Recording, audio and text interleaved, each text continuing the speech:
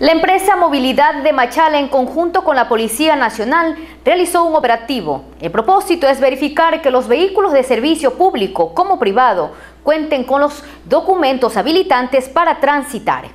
Personal de la empresa de movilidad de Machala junto a miembros de la Policía Nacional realizaron un operativo de control. El objetivo verificar que los vehículos privados como públicos tengan los documentos que les faculta para transitar.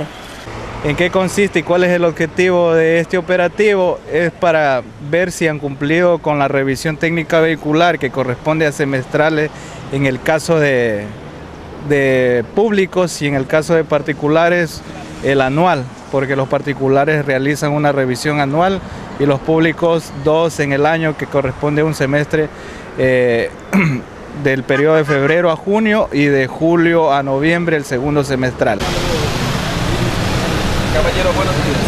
Venga la ayúdeme con su... De los vehículos que se retuvieron, el motivo fue que no tenían la matrícula del 2015, así como también un bus de servicio urbano que no contaba con la revisión semestral. Este, en la revisión eh, técnica vehicular se revisan todos los, los, sistemas o mecanismos mecánicos y de seguridad para que puedan brindar este servicio.